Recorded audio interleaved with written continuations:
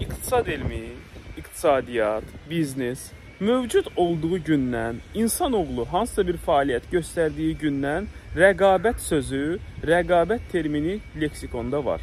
Müasir biznesdə, iqtisadiyyatda rəqabəti ən mükəmməl izah eləyən Porterdir, hansı ki 79-cu ildə rəqabətin 5 gücü anlayışını formalaşdırdı və bu günə qədər əslində rəqabət qanunvericiliyi, rəqabət Porterin bizə qoyduğu strategiyaların üzərində həyata keçirilir.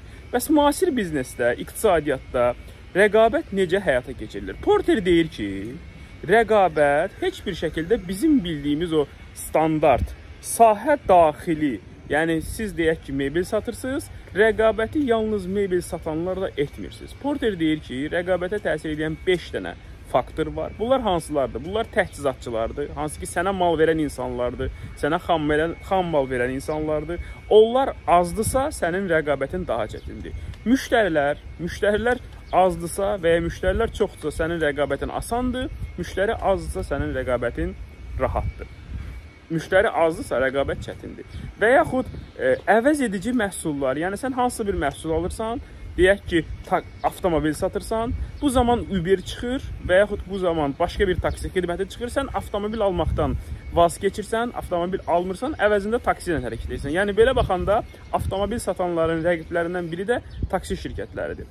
Bu 5 faktor, deməli, e, yeni rəqiblərin bazara girməsi, sahə daxili rəqabət, təchizatçılar, əvəz edici məhsullar, bir də yeni texnologiya. Bu bu 5 faktorun üzərində bütün rəqabət e, mühiti formalaşır. Və biz bəzən iqtisadiyyatda, öz biznesimizdə bizə elə gəlir ki, rəqabət elə ancaq bizim tanıdığımız adamlardır.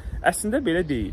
Və mütləq şəkildə biz başa düşməliyik ki, ən çətin rəqiblər bizim sahədən deyil, kənar, yəni yeni texnologiyalarla bazara girən rəqiblərdir. Və siz hansısa bir biznes barədə düşünürsünüzsə, başa düşməlisiniz ki, biznesə girmək üçün, o sahəyə girmək üçün ən mükəmməl üsul o sahədə olan, o sahədə hamının bildiyi üsullardan deyil, fərqli biznes yanaşmalarından istifadə etməklə mümkün ola bilər. Yəni sən standart qaydalarla biznesə girə bilməzsən. Sən biznesə başlamaq istəyirsənsə, o sahədə olan standart qaydaları tətbiq etsən, o sahədə olan insanlar öz təcrübə əyrilərinə görə, uzun müddət eyni işi gördüklərinə görə səndən daha effektiv olacaqlar. Sən nə etməlisən? Sən fərqli biznes düşüncəni o sektora gətirməlisən. Bir sözlə, biznes fərqlənməkdir.